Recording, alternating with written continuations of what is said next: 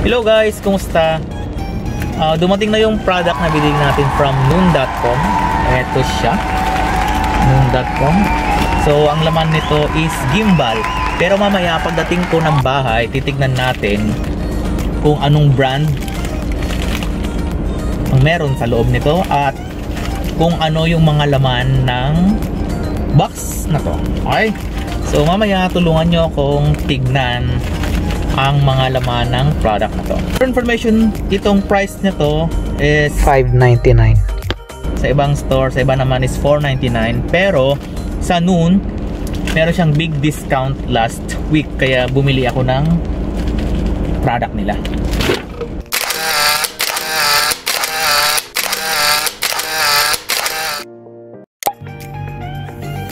Okay, so ito na yung product na nabili ko kanina sa noon.com.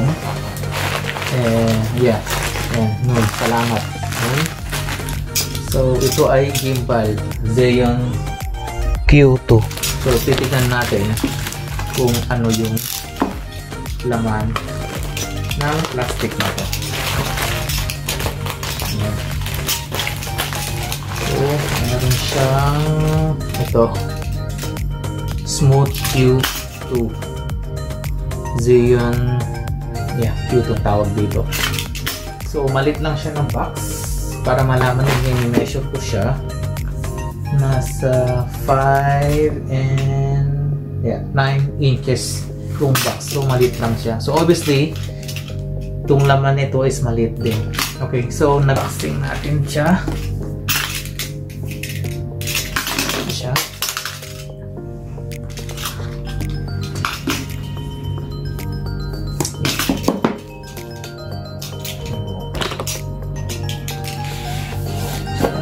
Muna natin, of course.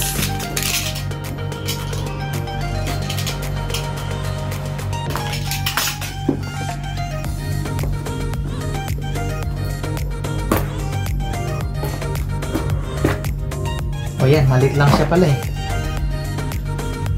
So, meron siyang, obviously, mga service cards, mga instruction.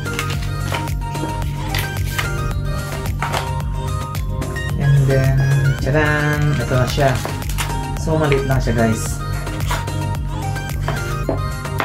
Sobrang liit. Hindi naman siya sobrang liit, pero gusto ko siya dahil uh, siyempre komportable na review ko na rin ito at uh, ang pinaka gusto ko dito is like that nag-stand siya so pag nagbablog ka kahit hindi ka na maglagay ng stand dito so ganyan sa ganyang kaliit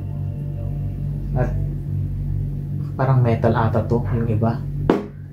So ang size nito para sa inyong kaalaman kasi nung dati curious ako kung gaano kalaki kaliit.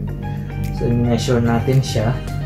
So from here yung tangkad niya nasa 8 like uh, 8 uh, inches. Yan. Tapos yung width niya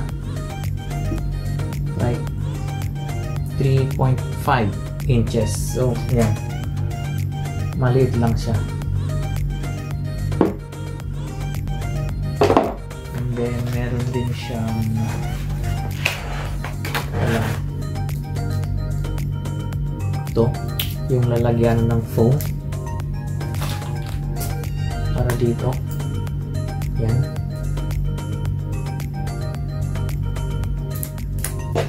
And then meron din siyang uh,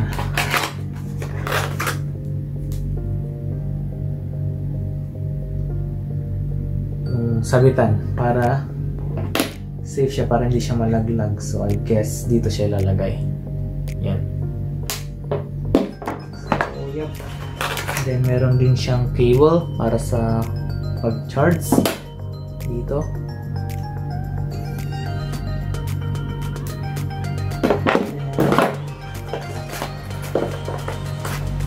Oh yeah wala na ito lang pala ang naman so meron siyang cable meron siyang sabitan yung paglalagyanan ng foam and then yung stabilizer mismo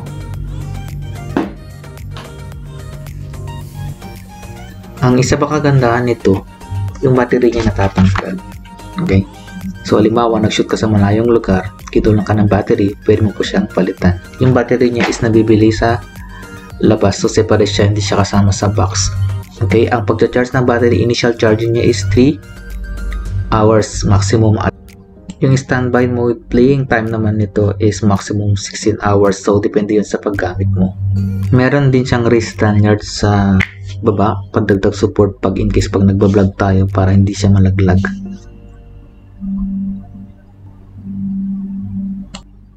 Yung phone holder nito is stretchable. Pwede sa small tsaka large na phone. But make it sure, pag inatas natin yung phone natin dito, gitna-gitna siya. At para pag inatas natin ulit sa stabilizer, madali lang ma uh, mabalance ng stabilizer. Tapos, meron din siyang lock sa likod para hindi siya malaglag kaagad pag nagbablog tayo. So, safe siya. And then, pag inatas natin siya sa likod, yan, madali lang siya. Okay, so attachable and detachable siya. So, pag may tawag tayo, madali lang siyang tanggalin at ibalik ulit.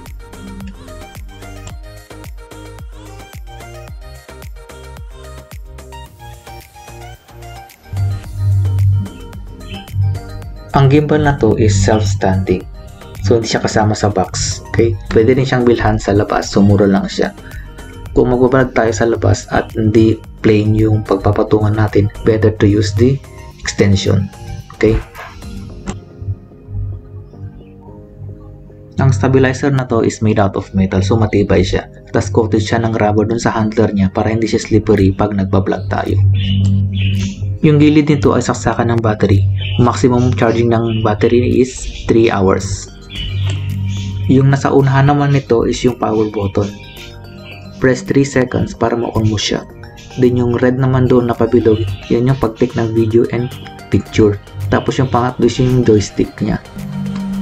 At bago nyo gamitin itong stabilizer na to, make sure na i-download nyo muna yung ZY app dun sa phone nyo kasi kukunik nyo yun sa stabilizer ninyo.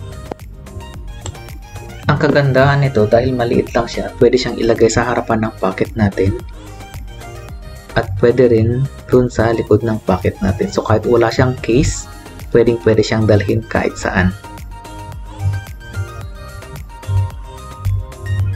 Yung case naman niya ay mabibili sa labas, nasa 30 to 40 dirhams lang siya.